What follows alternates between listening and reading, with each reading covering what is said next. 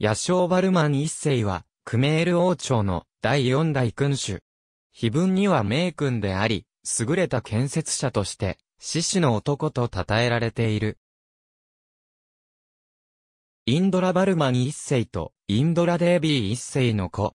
不王死後の889年、ロリュオス川流域にあったハリハラアラヤで即位し、父インドラバルマン一世が築いたことから、インドラタターカと呼ばれたバライの中央に、露霊を建築し、両親や祖父母を祀った。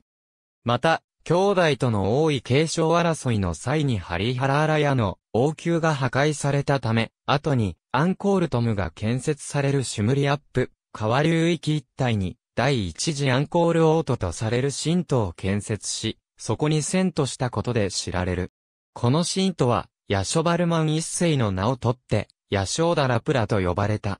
900年頃には、キューとハリハラーラヤのバライであるインドラタターカの北東端からヤショーダラプラへとつながる道路を整備させた。